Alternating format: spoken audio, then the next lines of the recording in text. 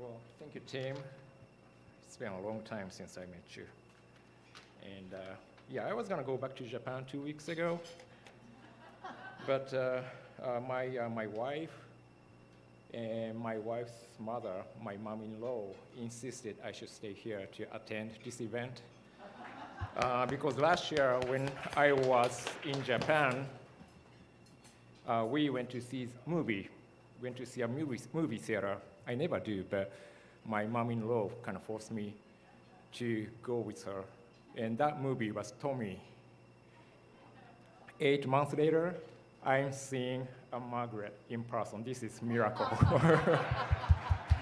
so it was a really cool movie, though. I really love it. See me, feel me, right? but first of all, uh, I'd like to thank everybody who made this event possible. And uh, you know, my wife, she's in Japan, and she's watching this event online.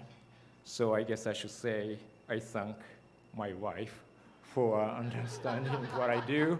And wh which one's that? That that the camera? Eri, arigato. Okay.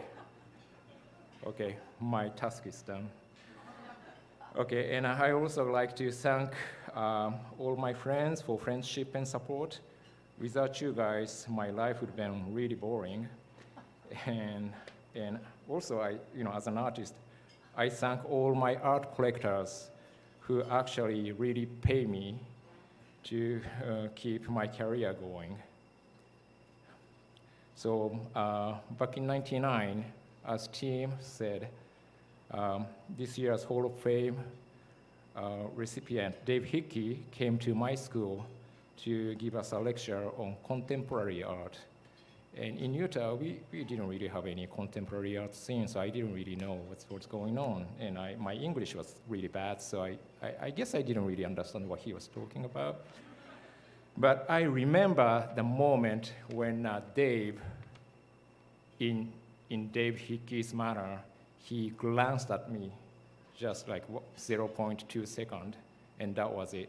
And he put me into a graduate program here. And I didn't really know anything about art, and right, I managed to come over here to, uh, you know, start painting and these three years in the graduate program here at uh, UNLV, it changed my life.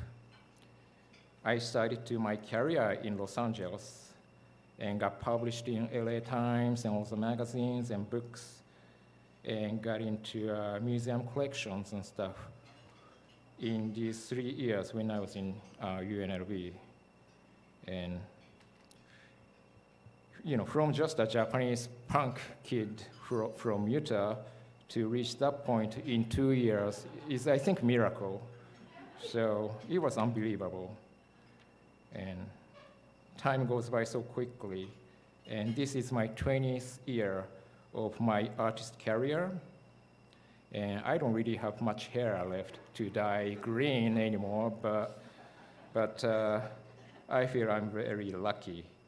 And I have never got a job but just painting in the last 20 years. So, so I thank myself for being crazy enough to keep chasing a dream. Um, I'm honored to receive Alumni of the Year, and I never imagined achieving this award when I came here 21 years ago.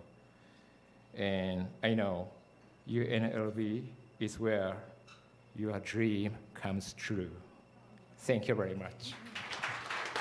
Congratulations, Sush.